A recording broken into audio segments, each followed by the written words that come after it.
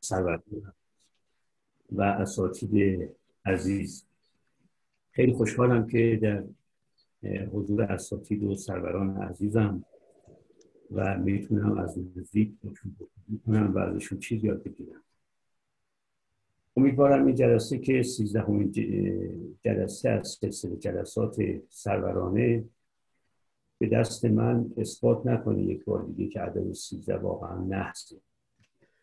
و اگر این بتونم این جلسه رو یه جوری اداره کنم که یک بار دیگه نفت بشه. نبوست سیزده خود اینم یک کمکی به اقلانیت ارز کنم که از من خواسته شده که من برای اقلانیت و معنویت سخن بگم. ولی در یک جلسه مقدماتی خدمت دکتر ناجی و بعضی از سروران گرز کردم که به نظر میاد که برای اینکه اقلانیت و معنویت رو بشه کاملا باز کرد و گشود بحثش رو سه بحث جدا از یکدیگر رو ولی در عین حال وابسته به هم رو باید ترک کرد که من الان ظاهرا فقط برای بحث اولش فرصت پیدا می‌کنم بحث اول که ارز کردم این بود که منشأ و خواستگاه درد و رنج های بشری کجاست؟ چرا انسان زندگی بدون درد و رنج رو تجربه نکرده است؟ هم در ساحت تاریخی نوع بشر تجربه نکرده و هم در ساحت فردی هیچ بشری در طول عمر شخص خودش تجربه نکرده است. یک زندگی کاملا بدون درد و رنج. این سوال یک سوال انسان شناختی خیلی مهمه و فراوان کسانی در بابش سخن گفتن اما از فیلسوفان عارفان بنیانگذاران ادیان و مذاهب الهیدانان و عالمان همه به این پرداختن که چرا نه نوع بشر در طول تاریخ و نه فرد انسانی در طول عمر خودش زندگی بدون درد و رنج رو تجربه نکرده. خب این سواله. نظریه اقلانیت و معنویت یعنی رأی بنده در باب اقلانیت و معنویت یکی از جوابهایی است که به این سوال داده شده. جوابهای عدیده به این سوال داده شده که یکی از جوابهاش هم چیزی که بنده در واقع در باب این سوال گفتم. من در یک مقاله ای که در واقع فصل اول کتاب اقلانیت و معنویت تحت عنوان درد از کجا رنج از کجا در اونجا هشت نظریه مهم را در این باب طرح کردم. که این هشت نظریه چهار تاش مربوط میشن به دنیای سنتی قبل از دنیای مدرن ولی هنوز هم در دنیای مدرن طرفداران کمابیش دارند و چهار نظریه هم طرح کردم که اختصاص داره به دوران مدرن. و در دوران سنت این نظریات وجود نداشتن. این هشت نظریه همشون به همین سوال جواب میدن که درد از کجاست رنج از کجاست منشأ درد و رنج بشر کجاست چیه؟ منتها هم که ارز کردم چهار تا نظریه تکونشون در عصر پیشا مدرن بوده ولی هنوز هم که ما داریم دوران مدرن رو و حتی به نظر بعضی پسا مدرن رو طی می‌کنیم هنوز هم این چهار تا نظریه طرفداران فراوان دارن. چهار تا نظریه دیگه هم نه همشون از ابداعات دوران مدرن. اون هشت نظریه رو من در اونجا بحث کردم و پیشفرزهای هر کدوم از این هشت نظریه رو بیان کردم. همطور که ارز کردم اون هشت نظریه فقط مهمترین نظریات این بابن نه اینکه فقط این هشت نظر وجود داره ولی مهمترین نظریات اون هشتا وقتی که من از اقناط معنویت رو طرح کردم در واقع می‌خواستم به زبان خالقات بگم که هیچ از اون ها کاملا برای من قانع کننده نیست. هیچ از اون هشت نظر کاملا برام قانع کننده نیست. و بنابراین اومدم چیز دیگری پیش کشیدم که بازم برای بارها و بارها تکرار کردم ولی برای انومین بار بازم تکرار می‌کنم که آنچه که من اینجا طرح کردم تحت نظریه اقلانیت و معنویت خودم در واقع برای خودم هیچ شعن ابداعگری قائل نیستم که بگم این رأی ابداع منه ابتکار منه. بله اجزاء این نظریه رو من در این سالها در آثار عارفان فیلسوفان بنیانگذاران ادیان مذاهب الهیدانان عالمان علوم انسانی. اجزای نظریه رو از همه جا جمع کردم و فقط صورت ترکیبی این نظریه از آن خود من بنابراین هیچ وقتی بنده خودم رو مبتکر و مبدع این نظریه تلقی نکردم و تلقیم نخواهم کرد تو خلاف واقعه. من فقط یه اجزایی رو که حالا دیگه وارد بحثش نمی‌خوام بشم. تقریبا می‌تونم بگم 600 نکته رو در طول این سالها گرد آوردم و همش رو یک هیئت تألیفیه یک کمپوزیسیونی بهش و حالا از این هیئت تألیفیه و این کمپوزیسیون تعبیر می‌کنم به عقلانیت و معنویت. اینه که جنبه بداعت و نو ظهوری از جانب من واقعا خب حالا بپردازم به که این نظریه از کجا شروع بیشتر متفکرانی که در طول تاریخ در باب منشأ در های بشر اظهار نظر کردند بیشترشون نه همشون ولی بیشترشون اکثریت قریب اتفاقشون معتقد بودند که در های بشری نظام سلسله مراتبی داره. نظامش به گفته فیلسوفان نظام طولیه نه نظام ارزی به این معنا که در دورنج های بشر مثل دانه دندانه های یک شانه نیستن که همشون کنار هم کنار هم کنار هم کنار هم ایستادن و مجموعشون میشه مجموع در دورنج های بشر. نه. یه حالت تولیدگری بین در دورنج های بشر وجود داره. یعنی مثلا یک هرم رو در نظر بگیرید یا یک مخروط رو در نظر بگیرید. در قاعده این هرم یا در قاعده این مخروط همه در دورنج های بشر هست.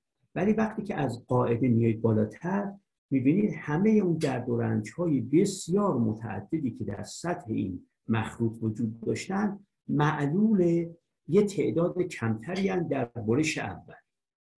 اون تعداد کمتر که در برش اول هستن باز معلول تعداد کمتری هستن در برش بالاتر.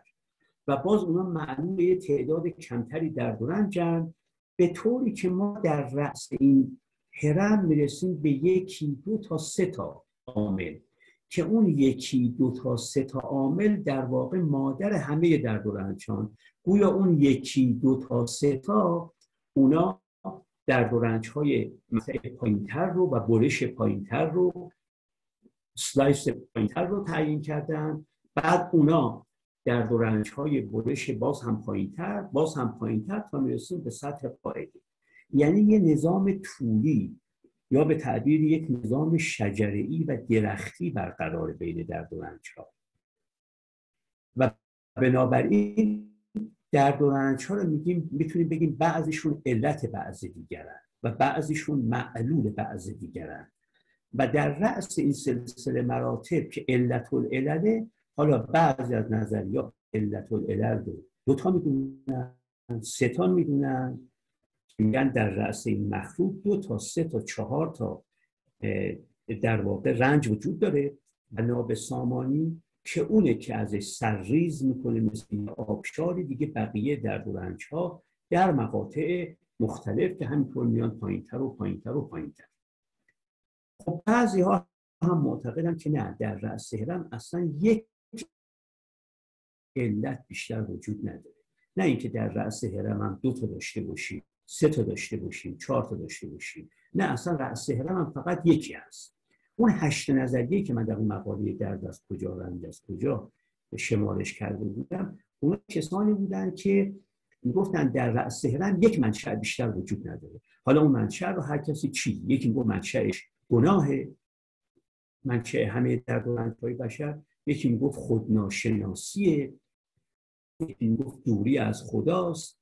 و علل و عواملی که هر کدامشون در رأس این هرم به نظر فکران قرار می‌گیرن. بنابراین شما در واقع اگر بخواید نظریه اقلانت معنویت بنده رو هم بخواید در واقع جا بدید باید بگید اولا از اون نظریاتی است که سلسله مراتب قائله بین خواستگاه های درد و رنج بشر. این یک. نظامشون نظام طولی می‌دونه نه نظام ارزی. توجه می‌کنید برای معتقده که مولدیتی وجود داره. علیت و معلولیتی بین این خواستگاه ها وجود داره. این دوم باید باز رأی بنده رو از اون نظریاتی به حساب آورد که میگن در رأس هرم که عاملی که وجود داره رأس هرم در واقع دو چیزه. فقدان عقلانیت و فقدان معنویت.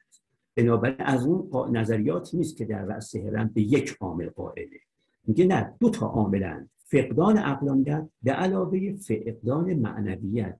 این دوتا که دیگه بقیه در دورنج های ما ازشون سرریز که حالا اینو توضیح خواهم.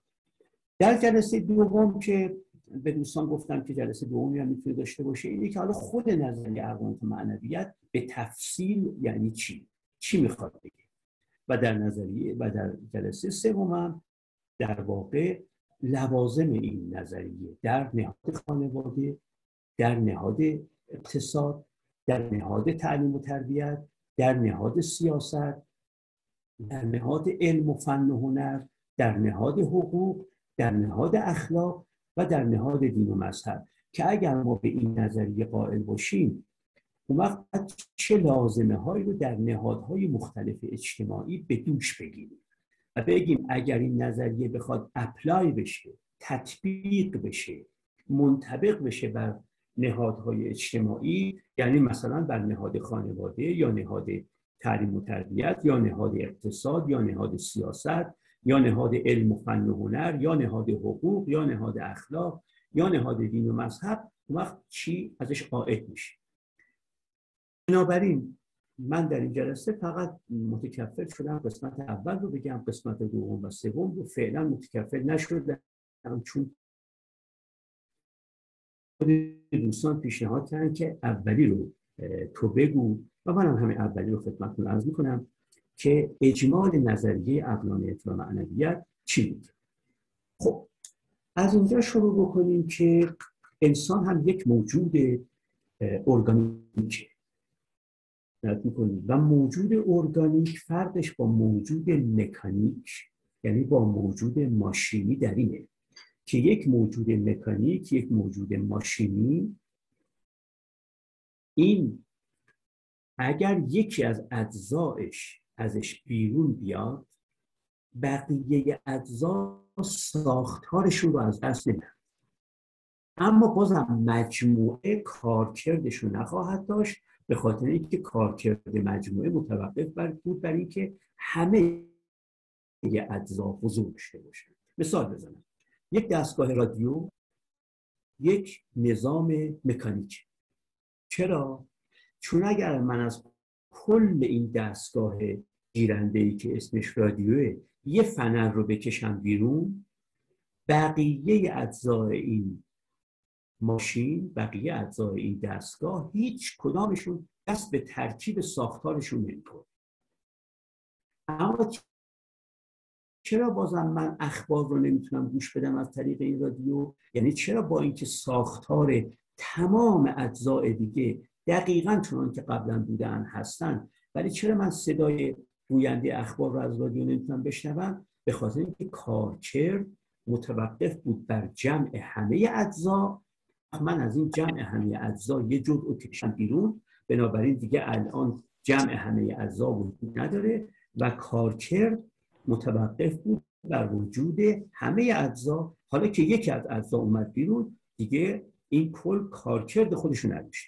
بنابراین دستگاه ها و منظومه های مکانیک دستگاه ها و منظومه های هستن که هر جزئی اگر ازشون هست بشه ساختار بقیه اجزا هیچ تغییری نخواهد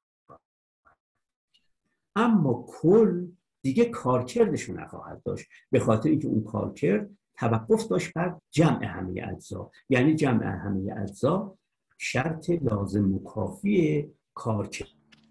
اما وقتی که ما می‌رسیم به منظومه های ارگانیک مثل یک درخت یک منظومه ارگانیکه مثل یک خرگوش که یک منظومه ارگانیکه و مثل یک انسان که یک منظومه ارگانیکه در اینجا اگر یکی از اجزا تصرفی درش بشه در ساختار بقیه اجزا هم تاثیر می‌ذاره اونجا ساختار بقیه اجزا دست به ترکیبش نمی‌خورد اما اینجا اینجور نیست. یعنی اینجا اگر شما یک برگی از یک درخت کندید کم یا بیش تمام اجزای درخت دیگه در ساختارشون و طبعا در کارکردشون دخل تصرف میشه. ارگانیک بودنشون به همین جهته که پیوستگیشون پیوستگی است که کاملا همه اجزا یک وحدتی می‌سازند یک واحدی می‌سازند که یکی از این اجزا بره ساختار بقیه اجزا سر جاش باقی نمیمونه و به طریق اولا کارکردش باقی نمیمونه در رادیو ساختار باقی میمان همه اجزا ساختارشون حفظ می‌کردن. کارکرد وجود نداشت. اینجا دیگه نه ساختار وجود داره و نه کارکرد خب انسان یک موجود ارگانیک. یعنی اگر من ناخن دستم رو کوتاه کنم یا اگر من یک سوزنی به کف دستم وارد کنم این کمابیش در تمام بدن من اصلا ما یک موجود ارگانیک. اما نه فقط از این لحاظ موجود ارگانیکی از این لحاظ دوم من موجود ارگانیکی تا الان من می‌گفتم ارگانیکی به لحاظ فقط ساختار بدن. ساختار جسم تن. اما ما یک لحاظ دیگه هم یک موجود ارگانیک. و اون اینکه ما انسان ها علاوه بر ساختار تنانی ساختار جسمانی و بدنی خودمون ما دارای ذهنم هستیم و دارای روانم هستیم. یعنی اینجا من یک نکته رو می‌خوام تاکید بکنم برش که اون یه مقدار منو نزدیک می‌کنه به آراء یعنی یه مقدار عمده نزدیک می‌کنه به آراء اسپینوزا. ببینید من مثل دکارت یا مثل لایبنیتس یا مثل فیلسوفان جهان اسلام معتقد نیستم که انسان یه موجود دو تکه یه موجود دو تکه به این معتقد نیستم. بلکه چرا چون فیلسوفان جهان اسلام به طبع عرستو و به طور کلی به طبع میراث فلسفی دوران هلنی یونان و روم باستان معتقد بودن انسان بدنی است به علاوه نفس. به تعبیر ساده تر بگم تنی است به علاوه روانی. دکارت هم به همین معتقد بود. منتها دکارت اصالت رو می‌داد به ساحت دوم یعنی ساحت روان. لایبنیز هم به همین قائل. من اصلا قائل نیستم به اینکه ما بدن داریم و نفس داریم. بدن داریم و روان داریم. بدن داریم و ذهن داریم. که انگار ما دو, دو تا چیز به هم چسبیدن به هم ملصق شدن به هم پیوستن و از پیوستشون انسان به وجود اومده. من دیدگاه هم کاملا دیدگاه اسپینوزاییه. من معتقدم ما یک موجود. یک موجود بیشتر نیستیم. این موجود رو از یک جنبه که بهش نگاه می‌کنید بهش میگید جسم. همین موجود از یک جنبه دیگه که بهش نگاه می‌کنید وقت بهش میگید ذهن. یا بگید روان هر چی می‌خواید تعبیر بکنید من به اون تعبیرش خیلی کاری ندارم. توجه می‌کنید یعنی به نظر من نظریه تو اسپکت تیوری اسپینوزا درسته. اسپینوزا میگه ما یک موجود یک پارچه هر انسان یک موجود یک پارچه است. دو تیکه نیست سه تیکه نیست یک تیکه است. همین موجود از یک پرسپکتیو که بهش نگاه بکنید از یک چشم انداز و دیدگاه که بهش نگاه بکنید میگید این جسمه. همین موجود رو از یک پرسپکتیو دیگه از یه دیدگاه دیگه بهش نگاه بکنید بهش میگید ذهن. یا به تعبیر بگید روان. هر چی می‌خواید تعبیر کنید. من فعلا به تعابیر مختلف ذهن نفس روان روح به اینا فعلا کاری ندارم. چون این اگه می‌خواستم وارد این بحث بشم وقتی قسمت دوم بحثم باید بپردازم به این. که من تو اولانت معنویت به چند ساحت قائلم. اما نه فعلا میگم که یک موجودی است یک پارچم هست یک واحد سایکوسوماتیکه یک واحد روانتنیه. از یه منظر که بهش نگاه می‌کنیم بهش میگیم تن است. از یه منظر دیگه که بهش نگاه می‌کنیم بهش میگیم روان. حالا همینم همین موجودی که دو ساحتیه این دو ساحت هم که به زبان تنگنای خودمون میگیم. دو ساحتی اینا با هم وحدت ارگانیک یعنی علاوه بر اینکه اجزاء بدن مثل اجزای یک درخت مثل اجزای یک درخت یک خرگوش با هم وحدت ارگانیک دارن. علاوه بر این ساحت های مختلف وجود من که یکیشون بهش میگیم تن یکیشو بهش میگیم ذهن. یا روان یا نفس یا روح یا هر چیز دیگری این دوتا هم باز با هم وحدت ارگانیک دارن اینا هم باز دگرگونی در این جنبه رخ بده حتما یه دگرگونی متناظری در اون جنبه رخ میده دگرگونی در اون جنبه رخ بده حتما یه دگرگونی متناظری در این جنبه رخ میده. یعنی اگر به اون ساحتی که ما به خاطر تنگنای زبانی بهش میگیم بدن اگر این یک دگرگونی درش پدید اومد حتما در اون ساحت دیگری هم که باز به موجب تنگنای زبانی بهش میگیم ذهن در اونجا دگرگونی رخ میده و بالعکس. اگر در ذهن رخ بده در بدن هم رخ بنابراین ما یک موجود ارگانیکی به دو معنا از ارگانیزم. حالا می‌خوام عرض بکنم. این موجود ارگانیک یک سلسله نیازهایی داره و یک سلسله خواسته های برای رأی من تفکیک بین نیاز و خواسته خیلی اهمیت داره. یعنی یکی از محکمات این عرایز بنده اینه که شما بین خواسته و نیاز تفکیک بکنید. و این خیلی برای من اهمیت داره. خیلی من برایش تاکید می‌کنم. تو اندیشه من خیلی تاکید میشه بر دو چیز داریم. ما یک دیزایر داریم یه خواسته داریم. توجه می‌کنیم. اما یه چیز داریم به نام نید نیاز. این دوتا رو اصلا نباید با هم خرد کرد. می‌کنیم. خواسته های من اموری که اولا مفقودند آن ندارمشون ثانیا مطلوبند. یعنی می‌خواهم که داشته باشمشون پس مفقودیت به علاوه مطلوبیت برای من دارن اگر چیزی در وجود من مفقود باشه نباشه و مطلوب هم باشه یعنی خودم هم خواستارش باشم این میشه خواسته من. خواسته را اگر بهش برسم کسب لذت می‌کنم. علامت رسیدن به یک خواسته اینه که من لذت دارم می‌برم. لذت بردن ناشی از رسیدن انسان است به یکی از خواسته های خودش. حالا این خواسته هر خواسته ای می‌خواد باشه. هر خواسته ای که من داشته باشم چه خواسته جسمانی چه خواسته ذهنی روانی اگر بهش رسیدم احساس لذت می‌کنم. احساس لذت یک نشانه است یک سیمتوم برای من به یک خواسته از خواسته های خودم نیل پیدا کردم رسیدم حالا خواه این خواسته ای که بهش رسیدم بالمعال به سود من باشه یا بالمعال به زیان من باشه؟ ممکنه من خاطر قند خونم بستنی زیان بدنم باشه ولی اگر بستنی مفقود باشه برای من و در عین حال مطلوب منم باشه وقتی من بستنی رو می‌خورم کسب لذت می‌کنم. حالا ولو من کسب لذت دارم از چیزی می‌کنم که بالمعال به زیان منه چون مبتلا به قند خونم مثلا.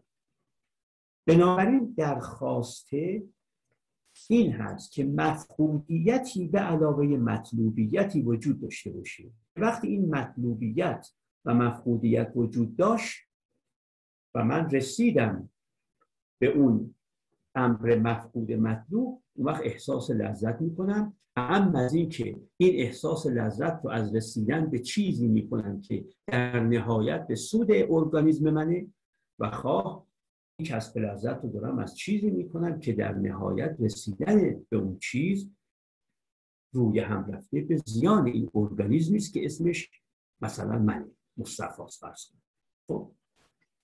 اما نیاز این نیست. نیاز با خواسته فرق نیاز در واقع معناش اینه که آنچه برای حفظ نهایی وضع مطلوب یک ارگانیسم لازمه اونی که برای حفظ نهایی وضع مطلوب یک ارگانیسم لازمه به اون میگیم نیاز. عنایت می‌کنیم. نیاز وقتی برآورده نمی که اما نیاز. نیاز چیزیه که برای حفظ نهایی وضع مطلوب یک ارگانیزم لازمه. یعنی اگر ارگانیزم محروم بشه از اون اون وقت دیگه وضع مطلوبش قابل استمرار نیست. نه به لحاظ کمی و نه به لحاظ کیفی. به لحاظ کمی قابل استمرار نیست یعنی عمرش کوتاه میشه. اون موجود ارگانیک اون درخت سر یا اون خرگوش یا اون انسان. و به لحاظ کیفی هم یعنی آنچه که در طول این عمری هم که براش باقی میمونه واجدش هست اون چیزی نیست که برای او نشاط حیاتی بیاره. اون چیزی که بهش میگیم الان ویتال نشاط حیاتیشو از دست میده. به این میگیم نیاز. نیاز وقتی برآورده نمیشه برخلاف خواسته. خواسته وقتی برآورده نمی‌شد من از لذت محروم میموندم. اما نیاز وقتی برآورده نمیشه نه. من دارم کمیت و کیفیت عمرم رو از دست میدم. ممکنه کمیتش یا کیفیتش یا هر دو به خطر بیفته. این این موجود ارگانیکی که اسمش انسانه مثل بقیه ارگانیزم های دیگه نیازهای خاص خودشو داره. صحبت بر سر اینه که منشأ این که انسان رنج می‌کشه اینه که نیازهاش برآورده نمیشه نه خواسته هاش تمام سخن در اینجا اینه که وقتی یک ارگانیزمی نیازهاش برآورده نشد حتی یک درخت سر همینجور. نیازهاش که برآورده نشد این دیگه دیر یا زود مبتلا به رنج میشه و دیر یا زود کم و کیف زندگی خودش رو از دست می‌کنیم اینو بهش میگیم در واقع نیاز. حالا بعدا به اینجا خواهد رسید تو تفاصیلش. فقط اینجا می‌خوام اینو از فقط یک اشاره بکنم که انسان انسان بالغ هم به بلوغ فکری رسیده هم به بلوغ عاطفی رسیده و هم به بلوغ ارادی رسیده. انسانی که اگر بین خواسته ها و و نیازهاش تعارض افتاد حتما نیازها رو ترجیح بده بر خواسته ها. اگر تعارض نیفتاد که بسیار عالیه. یعنی اگر همون چیزی رو می‌خواهد که بهش نیاز داره. به همون چیزی رو که بهش نیاز داره می‌خواهد. یا آنچه را نمی‌خواهد بهش نیازم نداره. یا آنچه را می‌خواهد حتما بهش نیاز داره. اگر اینا باشه که عالیه. اما اگر تعارضی بین نیاز و خواسته رخ داد وقت انسانی که دارای بلوغ فکریه و بلوغ ارادی و بلوغ از در ناحیه میل این شخص میاد حتما خواست خواسته هاشو به پای نیازهاش فدا می‌کنه و نیازهاشو ترجیح میده برای خواسته هاش بچه ها که این بلوغ رو ندارن؟ و چه بسا من حتی در سن 65 سالگی اگر این بلوغ رو نداشته باشم در این گونه موارد دوست عکس عمل می‌کنم. بچه سرما خورده نیاز داره به داروهای خاصی شربتی کپسولی قرصی آمپولی به اینا نیاز داره بدنش ولی مطلقا اینا رو نمی‌خواد. از اون طرف شکلات و بستنی رو می‌خواد که نه فقط بهش نیاز نداره بلکه در وضع کنونی کاملا مخالف جهت برآوردن نیاز باشه. بچه ها اینجورن که عموما وقتی بین نیاز و خواستشون تعارض حاصل شد عموما اینجورن که خواسته رو بر نیاز در واقع ترجیح میدن. از این نظرم بود که من تعبیر کردم که علامت بلوغ یک آدمی اینه. انسان بالغ کسی است که وقتی خواستش با نیازش با هم تعارض پیدا کرد نیاز رو بر خواسته ترجیح بده. این. خب حالا اگر اینجور باشیم ما باید نیازها رو بشناسیم. نیازهای ارگانیکی که اسمش انسانی بشناسیم تا اون نیازها برآورده بکنیم. تا وقتی اون نیازهامون برآورده میشه اون وقت دیگه منشأ درد و رنجمون از بین بره. عنایت می‌کنیم. خب حالا ما چه وسیله ای داریم برای شناختن نیازهای این ارگانیسم؟ اینجاست که به نظر میاد که ما هیچ وسیله ای برای شناختن نیازهای این موجود غیر از عقل نداره اما باید عقل توضیح بدن چی. ما فقط اگه بخوایم بفهمیم که این ارگانیزم نیازهاش چی هست باید به عقل رجوع بکنیم. خب عقل یعنی چی؟ چون عقل در هم در جای دیگه گفتم چهارده معنای مختلف داره و من یکی از اون معانی فعلا محل بحثانه اون معنی که فقط محل بحثانه رو اشاره بهش بکنم. ما به مجموعه منابع شناخت مورد اجماع معرفت شناسان میگیم عقل. من به معانی دیگر عقل کار منابع شناخت مورد اجماع معرفت شناسان شش تا منبع شناخت. یکی پرسپشن یعنی ادراک حسی. یکی introspection درون نگری یکی memory حافظه. یکی testimony یه یعنی گواهی. گواهی. مثلا در تاریخ ما بیشتر مدعیاتمون از راه گواهی تأیید میشن. یکی هم شهود منظورم کشف و شهود عرفانی شهود دکارتی شهود عقلی. اونی که بهش میگیم intuition شهود و یکی هم استدلال. reasoning استدلال. خود reasoning و استدلال هم سه قسم. تا الان ما کشف کردیم. سه نوع استدلال کشف کردیم. یک دسته از استدلالات استدلالات قیاسی deductive یک دسته استدلالات استقرایی inductive و یک دسته استدلالات abductive. یعنی استدلالاتی که بهشون میگیم استنتاج بهترین تبیین.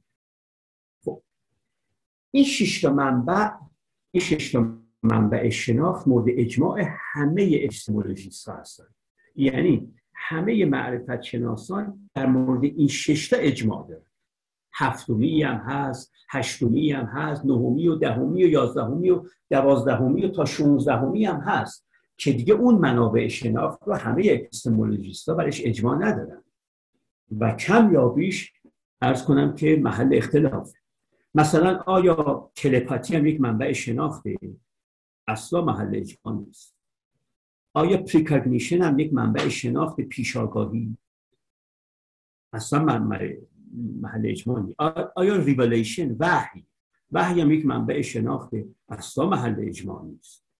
بنابراین ما اومدیم و میگیم این شش منبع شناخت که همه معرفت شناسان اجماع دارن ما به مجموع این شش تا به هم میگیم عقل. یعنی به مجموع ادراکات حسی به علاوه درونگری ها به علاوه حافظه ها به علاوه جواهی ها به علاوه شهود ها و به علاوه استدلالات ما به این شیشتا میگیم یعنی به مجموع قوای ادراکیمون یا به تعبیر متعارفتر امروزی به مجموع منابع شناختمون میگیم عقل به این شیشتا روی هم میگیم عقل معنیش چیه؟ معنیش اینه که اگر من ادعایی کردم و تونستم او ادعای خودم رو مثلا الف به اصل خودم تونستم با یک واسطه دو واسطه سه واسطه ان واسطه برسونمش به یکی از این شش منبع شناخت اون وقت دیگه ادعای من ادعای عقلانی خواهد توجه می‌کنید؟ و اگر یک الف به اصلی گفتم یه الف به نیستی گفتم و اون الف به و الف به نیست رو نتونستم با یکی دو تا سه تا ان تا واسطه برسونمش به ادراکات حسی یا برسونمش به درون نگری یا به حافظه یا به گواهی یا به شهود و یا به استدلال سگاری که گفتم اون سه استدلال. اون وقت میگن که سخن تو عقلانی نیست. عقلانی نیست یعنی معدی نشد به این منابع شناخت ششگانه. خب ما سرمایه برای شناخت نیازهای بشر جز توسل به همین عقل به این معنا نه ممکنه به نظر بعضی از سروران بیاد آقا منابع دیگری هم داریم. ولی من در جواب شما به شما میگم حتی اون منابع دیگر اگر هم بخوان منبع شناخت به حساب بیان باید با توسل به این ششتا اثبات منبع شناخت بودنشون بشه. یعنی فرض کنید کسی بگه آقا مکاشفات عرفا هم منبع شناخت. اشکال نداره.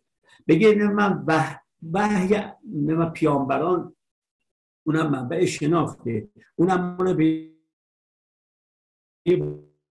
واقعیت میرسونه. میگم بله ولی به شرط این ما آدمیان اجماع داریم در بابش اثبات کنی حجیت اپیستمولوژیک اون منبع مورد ادعای خودت حجیت معرفت شناختی اون منبع رو. به اگه تونست ریولیشن رو هم وحی رو هم با توسل به این شش منبع شناخت اثبات حجیتش رو بکنی یعنی حجیت اپیستمولوژیکش رو و اونم شد یک منبع. بحث بر سر اینه که تاکنون بشر موفق به این کار نشده. ما این شش منبع. این عقل. خب وقتی که ما به توسط عقل میان می‌شناسیم این هم باید بهش توجه بکنیم که این شش منبع هر کدامش شرایطی داره ها. حافظه یکی از منابع شناخته ولی یه شرایطی داره که حافظه منبع شناخت باشه. توجه می‌کنید ادراک حسی هم یه شرایطی باید داشته باشه تا منبع شناخت باشه نباید فکر بکنیم که وقتی میگیم منبع شناخته یعنی هر کسی با هر شرایطی می‌تونه باید با رعایت اون شرایطی که همش هم تو تفسیرات کتاب های اپیستمولوژیک هست در اونجا مثلا گفته میشه حافظه ظاهری منبع شناخت نیست.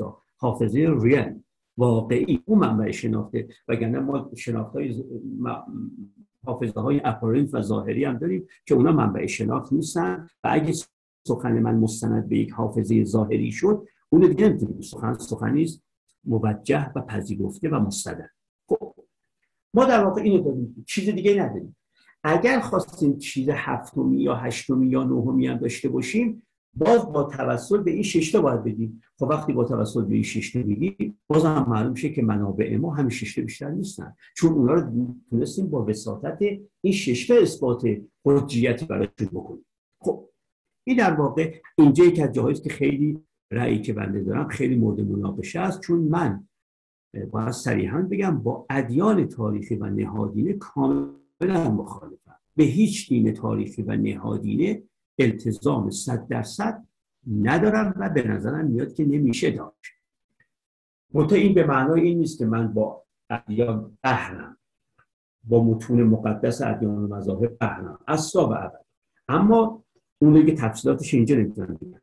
بنابراین می‌خوام این عرض بکنم که اون منابع دیگه هم اگر بخواد باید حجیتشون رو از توسل به این شش منبع کسب بکنن. اون وقت اگر چیزی تحویل ما دادن می‌تونیم اونم به خاطر همین توسلشون یکی از این شش منبع با واسطه می‌تونیم بپذیریم. خب این عقل مورد به توسط این عقل تو علوم مختلف ما میایم نیازهای بشر رو کشف می‌کنیم.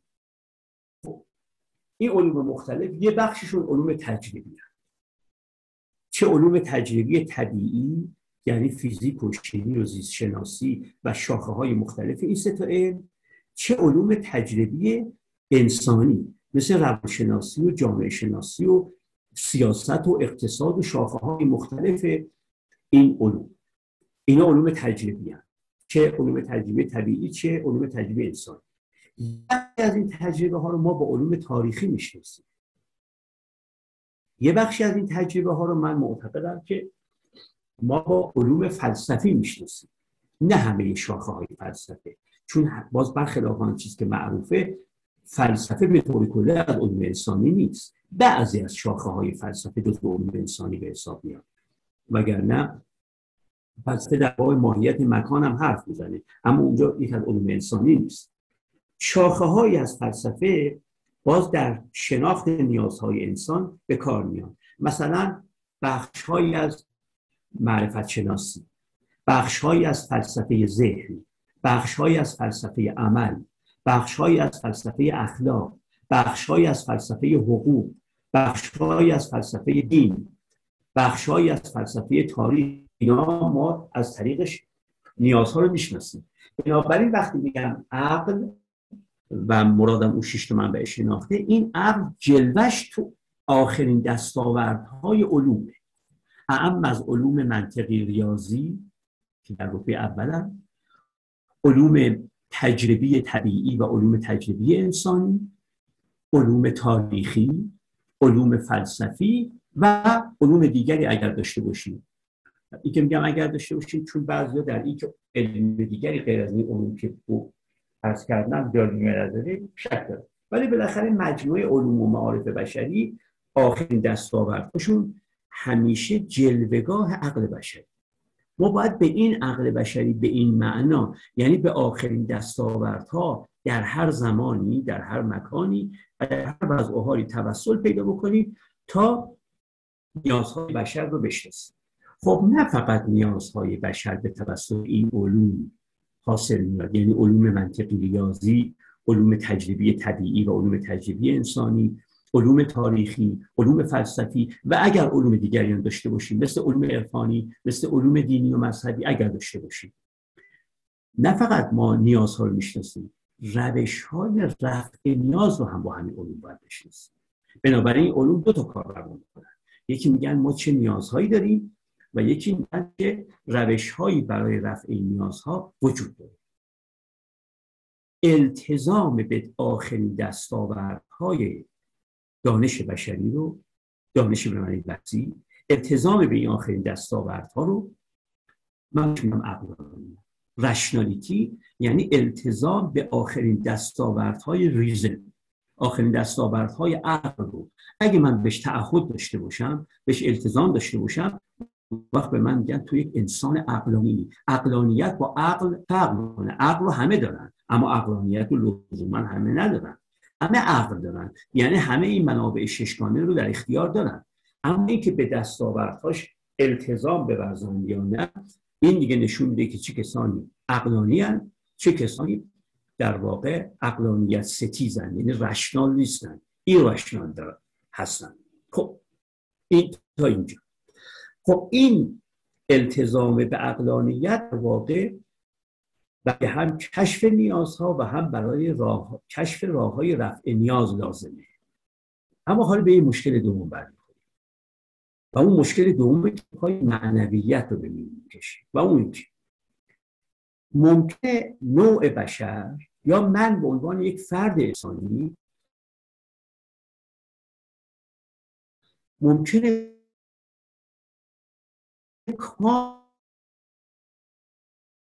کاملا بفهمم که نیازهای بشر چیاست و چیاست. جهت فهرست بکنم. که اونا چه اموریان ممکنه من نخوام به این دانش خودم عمل کنم.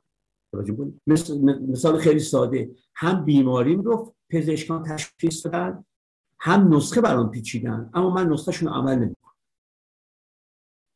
بکنید. مثال خیلی ساده شد. خب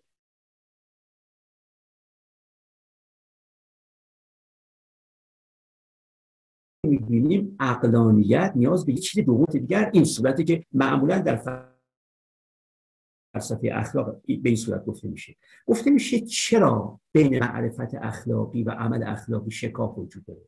چرا چون نیست که به محض اینکه من فهمیدم دروغ گفتن کار نادرستی است از اون لحظه به بعد دیگه دروغ نگم؟ چرا اینجوری نیست؟ چرا از اون لحظه ای که می‌فهمم تواضع کار کاملا شایسته و بایسته ایه چرا از اون لحظه به بعد من روش متواضعانه در زندگی در پیش نمی‌گیرم؟ چرا معرفت اخلاقی به عمل اخلاقی متناسب با اون معرفت لزوما منجر نمیشه؟ حتما یه شکاف این وسط وجود داره که من علا رقم این که می‌دونم کاری درست علا رقم این که می‌دونم کاری این گپی که بین معرفت و عمل وجود داره این گپ چیه؟ این گپ از کجا اومده؟ چرا معرفت به عمل متناسب با خودش منجر نمیشه؟ نظریه های مختلفی اینجا عرضه شده در طول تاریخ. عنایت می‌کنیم در باب اصل داستانش یک مفکر بزرگ در تاریخ با اصل داستان مخالف. با کدوم داستان مخالفه؟ با اینکه من بگم چرا معرفت به عمل نمی انجامد تنها متفکر بزرگی که می‌گفت اصلا غلطه که میگی معرفت به عمل نمی انجامد سقراط. سقراط می‌گفت همیشه معرفت به عمل می انجامد اگر معرفت با واقعا حاصل شد امکان نداره کسی معرفتش به عمل متناسب با اون معرفت نینجام اما غیر از سقراط ما هیچ متفکر بزرگی در تاریخ نمی‌شناسیم که معتقد باشه یه همچین گپی وجود نداره. سقراط اصلا معتقد بود این گپ وجود نداره. خب حالا غیر از سقراطیان که معتقدن این گپ وجود داره این گپ رو چی می‌دونن؟ چی میگن؟ میگن چی میشه که ما در عین حال که می‌دونیم کار درسته انجام نمیدیم یا در عین حال که می‌دونیم کاری نادرسته انجامش میدیم؟ یازده تا نظریه در طول تاریخ عرضه شده. یکیش نظریه نظر ادیان ابراهیمی. ادیان ابراهیمی نظریه فریب رو اینجا پیشش دیدن میگن این که آدمی می‌دونه کار ایک صحبت بکنه و نمی‌کنه ایگره بکنه و می‌کنه خاطر که موجوده نمی‌ذاره به مقتضای علمش عمل بکنه.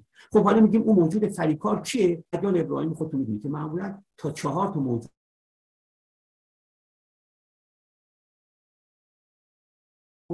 تسلیم می‌کنیم شی شی می‌کنیم ابلیس و دنیا و نفسی و الهوا. یا رب ان تعالی خلاص قدیر رو به گفته اون عارفه مسلمان گفت خدایا من چهار تا تیرانداز از چهار مخفیگاه دائم دارن به طرف من تیر پرتاب می‌کنن. فقط تو می‌تونی من از دست این چهار تا تیرانداز نجات بدی. اون چهار تا کیان؟ می‌گفت ابلیس و دنیا و نفسی و هوا یکی ابلیس یکی دنیا یکی نفس یکی هوا. این نظریه ابیان ابراهیم ارسطو خودش معتقد بود که نه اینا اصلا مهم نیستن. اون معتقد بود به ضعف اراده. می‌گفت اونی که باعث میشه من به علم خودم عمل نمی کنم به معرفتم عمل نمی من به خاطر که ضعف اراده دارم سستی اراده و از نظر ضعف اخلاق اراده می‌گفت ضعف اخلاقی. می‌گفت این ضعف اراده است که باعث میشه ما به دانسته ها عمل نکنیم. به حال نظریات مختلف وجود حالا بحث بر سر اینه که اگر ما بخوایم که حالا که عقلانیت به ما گفته نیازهاتون ایناست باید برای رفع نیازهاتون هم این کارن بکنیم. اون وقت من معتقدم به یه چیزی نیاز داریم به نام معنویت. این معنویت ملزم به اون به ما می‌گفت نیازهاتون ایناست و راهی می‌کنه که من به اون راه ها التزام ببرزم رعایت کنم کارها رو. تعهد کامل نظری و عملی نسبت به داشته باشه اینش که معنویت. خب حالا معنویت یعنی چی؟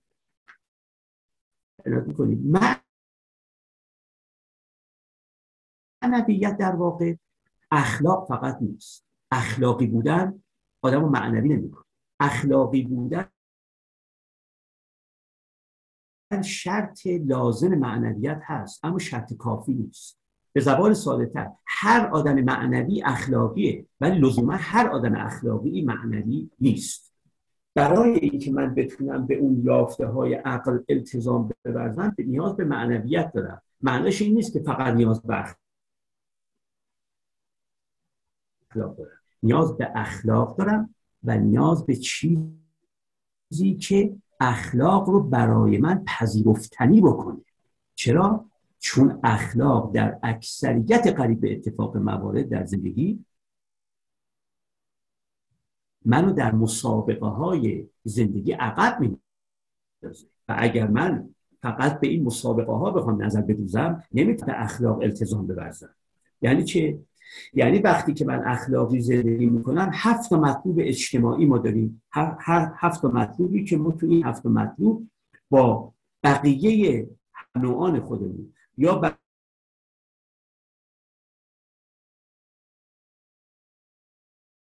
همیشه در حال مقایسه نظری و مثل من انسان عادی در تمام آنات زندگی با بقیه انسان ها خودم رو در نظرن و در فکر در حال مقایسه می‌بینم و عملا در حال مسابقه. این مقایسه نظری و مسابقه عملی. دائم دارم خودم رو با شما مقایسه می‌کنم تو عالم فکر تو عالم نظر تو عالم ذهن خودم. دارم خودم با شما مقایسه می‌کنم و در عملم خودم رو دارم در حال مسابقه شما می‌بینم. خب حالا در چی خودم رو با شما مقایسه می‌کنم؟ و در چی خودم رو با شما در حال مسابقه می‌بینم؟ در این هفت مطلوب اجتماعی فردی که اجتماعی یعنی تو ظرف جامعه. ولی برای افراد حاصل میان بنابراین بهشون میگم اجتماعی فردی. یکی ما خودمون همیشه در حال مقایسه و مسابقه می‌بینیم با دیگران در ثروت. یک. دوم در شهرت. سوم در قدرت. چهارم در احترام. پنجم در آبرو ششم در محبوبیت و هفتم هم در مدارج فرهنگی که شما دکتری ولی من فوق لیسانسم. شما فوق لیسانس ولی من شما عرض می‌کنم که فلان مدرک دانشگاهی رو دارید من ندارم. و مقایسه این در این چیزا تو ذهن خودمون مقایسه می‌کنیم با دیگران و در عمل مسابقه. حالا من انسانی که می‌خوام توی مسابقه ها و مقایسه ها احساس برتری بکنم می‌بینم اگه بخوام اخلاقی عمل بکنم کم یا پیش کمیابیش تو هر هفته از شما عقب آدم وقتی اخلاقی عمل می‌کنه هم به ثروتمندی خودش کما بیش لطمه می‌زنه و هم به شهرت خودش هم به قدرت خودش هم به احترام خودش هم به آبروی خودش هم حتی به محبوبیت خودش به همه این هفت مطلوب اجتماعی فردی همه به اثر التزام به اخلاق لطمه می‌خورن. بنابراین اخلاقی زیستن هزینه بالایی برای من داره. خب؟ برای اینکه این هزینه بالا رو من تحمل بکنم نیاز به یک نظرگاهی دارم که اون نظرگاه به من بگه در عین حال که اعتراف می‌کنم فلانی که داری با اخلاقی زیستن در این شش قدم هفت قدم رو داری دائما هزینه می‌پردازی ولی یه فایده از همه این هزینه هایی که می‌پردازی آیدت میشه.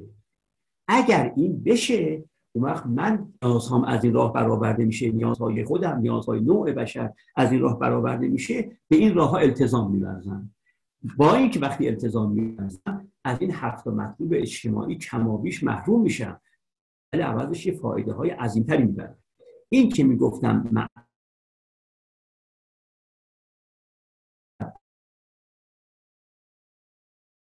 نیست به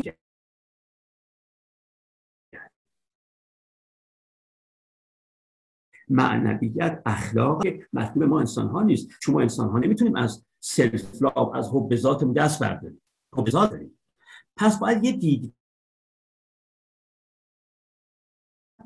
که بگن حالا که اینجوری باید رفتار کنید اگر وقتی اینجوری رفتار می‌کنید دارید از مطلوب های فردی محروم میمونید. ولی عوضش یک فایده بسیار عظیمتری آدتون میشه. یه فایده هزینه می‌کنید می‌بینید بالمعاد اقلانیت به من میگه چه بکن و معنویت به من پشتوانه روحی میده برای اینکه اون کاری که عقلم گفته رو بکنم. اون پشتوانه روحی فقط با دستور عمل اخلاقی صادر کردن حاصل نمیاد. چون دستور عمل اخلاقی صادر کردن فقط صادر کردن یک سلسله احکام و قواعدی است که اون احکام و قواعد اگه من بخوام بهشون عمل بکنم فقط دارم خسارت می‌بینم. فقط دارم در واقع زیان می‌کنم. پس یه دیدگاهی هم باید بهش اضافه بشه و اون دیدگاه چیه؟ اون دیدگاه چیزی است که مرا گرم می‌کنه در رعایت احکام اخلاقی در رعایت موازین اخلاقی معایر اخلاقی قواعد اخلاقی. حالا تو قسمت دوم عرایزم که خواهم داشت. میگم این معنویت چگونه حاصل میاد از اقلانیت رو عرض کردم. گفتم برای اینکه به این دستاوردهای اقلانی بشر التزام بورزیم از چیز خیلی ساده سادهش که پزشکی به من گفته که باید دندونات مسواک بکنی. چرا من دندونم مسواک بکنم؟ ممکنه من در این حال که می‌دونم باید دندونم مسواک کنم مسواک نکنم. برای اینکه یه گرمایی در وجود من پدید بیاد که مسواک دندونم رو حتما رعایت کنم از اینجا بگیرید تا بزرگترین فعالیت های اجتماعی و سیاسی و حقوقی. برای اینکه این التزام بورزن نیاز دارن به اخلاق. ولی اخلاق هم خودش بدون پشتوانه نمی‌تونه چون اخلاق بدون قد مرا به هزینه تحمل کردن میکشونه و از اقلانیت بدونه که من دائم هزینه تحمل بکنم و هیچ فایده نداره اگر یه دیدگاه منظم بشه به این اخلاق که بگه همین اخلاقی زیستن کاملا هم اقلانی یعنی فایده بیشتر از هزینه هاشه وقت من اخلاق عمل می‌کنم. حالا این معنویت چجوری به دست میاد؟ در قسمت دوم عرائزم که این معنویت هم از دل همون اقلانیت میاد بیرون.